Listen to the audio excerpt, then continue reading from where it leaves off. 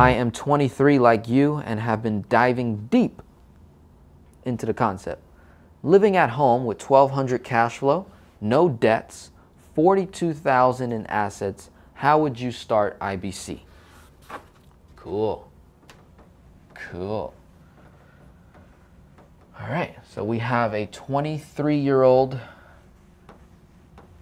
individual, right? And he has 42,000 in assets.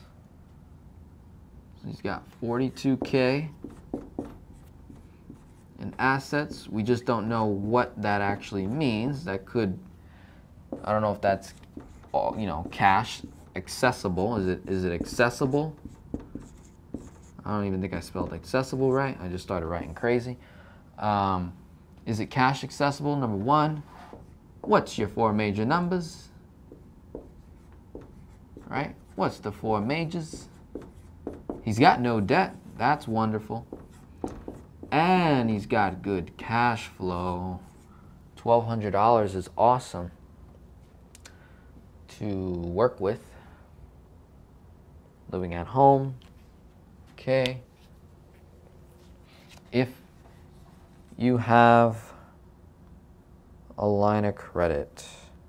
So 1200 times 12 is $14,400.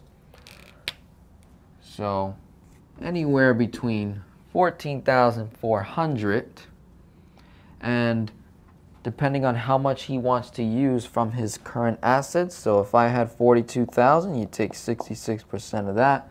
That's 27,720. So now, if I do not have a desire to 10x, right? If that's not the plan, if you're if you're like, no, I want to get the policy first, okay. Maybe this would be my numbers. This is what I would flirt with, somewhere around here, right? 1400 to 27,000 is very reasonable. If it's 27,000, the premium per year is going to be 2,700. If it's 14,000, we're looking at anywhere between 1400 and 2700 should be my premium on an IBC policy. I would probably go with Guardian because if he doesn't have the initial capital to start with, so maybe he's like, okay, I want to have the ability to put 14,400 in, but I want to start with 10K. And Guardian might be a little bit better to do it that way. Um, if he has all the money up front, right? All of it. I think I might want to go with Mass. He's super young, and uh, Mass Mutual is crediting the highest dividend rate out of the four majors right now.